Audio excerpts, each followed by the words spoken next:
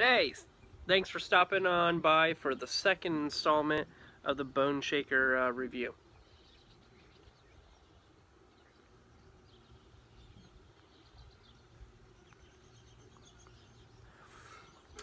Once they get halfway in, they they really develop into something really nice. Uh, the slight hay and leather, uh, leather was a little obsolete uh, before once you uh, once the cigar uh, really develops that's all that's all you really get. Uh, you get cocoa uh, overpowering hay and uh, the the notes of leather are very predominant. Once once you get halfway down normally right where the the wrap is you can go about right here and then uh, about right here and then you start hitting the binder it starts getting all uh, gross and nasty so you got to throw it out. But uh, these these are really good. 40 uh, minutes to an hour long. The Warhammer 6x60 if you don't have that long to spare I'd probably reach for like a mace or a morning star. Typically if you're not using a humidor uh, the bone shaker will give you uh, right around a good 20-25 minutes. Uh, letting the, the cigars uh, cure in a humidor is uh, definitely crucial for how they smoke, how they taste, uh, the aging process, uh, and especially if you want to keep a cigar for a long time without it falling apart and just being overpowering and stale. What I normally do, I, I save my tags, because uh, I'm gonna be making like almost like a wall art of every single cigar that that I've smoked uh, this far quite a bit uh, now. So uh, yeah if you want a very good stick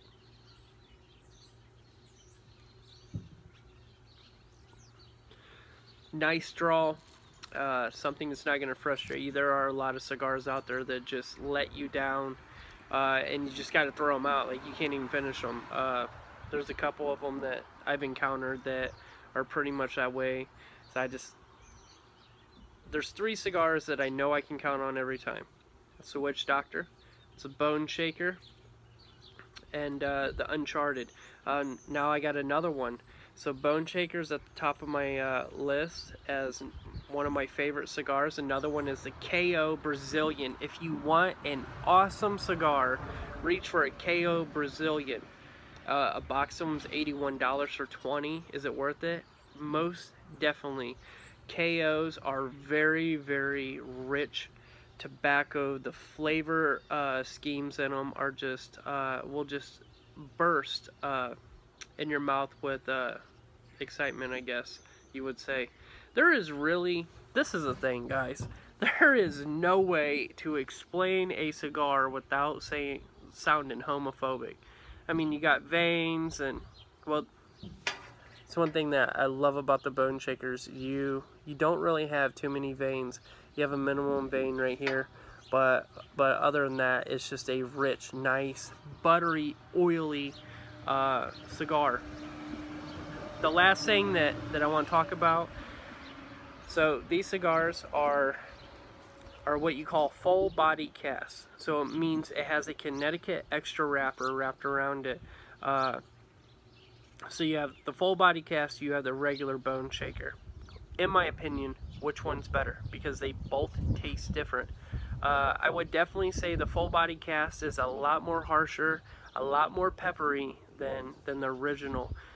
The original bone shaker is to die for. It is so good. I love excuse me, I love firing that stick up. A full body cast, uh, you really have to cure it in a, in a humidor for quite some time. So my cigar has been curing over a week in, in a humidor and they're finally just now mellowing out. Uh, it's just uh, it's just not my kind of cigar, but I still enjoy uh, the full body cast. First day of spring out. Just want to wish everyone uh, happy spring ahead. Bees are already out, so all right, guys. Uh, thanks for stopping on with Coy uh, Cigars with Coy. Uh, hope you enjoyed this uh, this review. Make sure to go get yourself a bone shaker. uh, exclusively at jrcigars.com. Alright, if you want to know or you want me to review any cigar, just go ahead and leave in the comments section. Alright, peace.